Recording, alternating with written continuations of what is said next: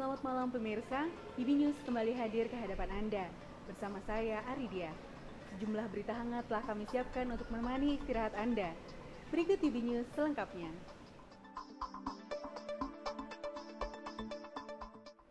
Berbagai cabang lomba olahraga dan seni dalam ajang bergengsi Olimpiade Brawijaya 2014 telah dimulai.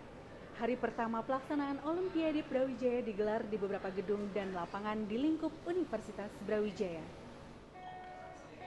Sebagai wadah menyalurkan minat dan bakat mahasiswa, Universitas Brawijaya kembali menggelar perlombaan seni dan olahraga dalam Olimpiade Brawijaya 2014. Kegiatan tahunan ini merupakan ajang untuk menyatukan mahasiswa dalam satu rangkaian perlombaan. Kegiatan yang mengusung tema wujudkan generasi berkualitas dengan warna-warni Brawijaya diselenggarakan mulai tanggal 22 September hingga 10 Oktober mendatang.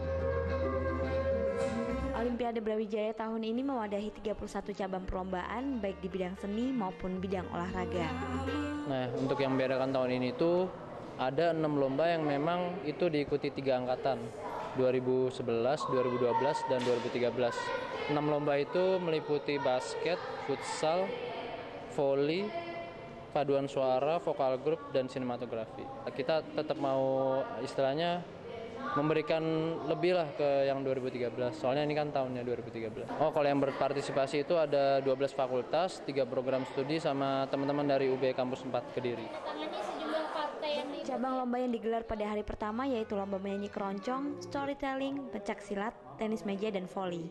Peserta Olimpiade Brawijaya ini merupakan perwakilan dari masing-masing fakultas yang sebagian besar diikuti oleh angkatan 2013.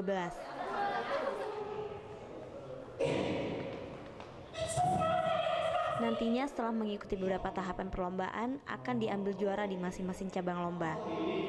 Tasya dan Ani melaporkan untuk UBTV. She was really confused. She she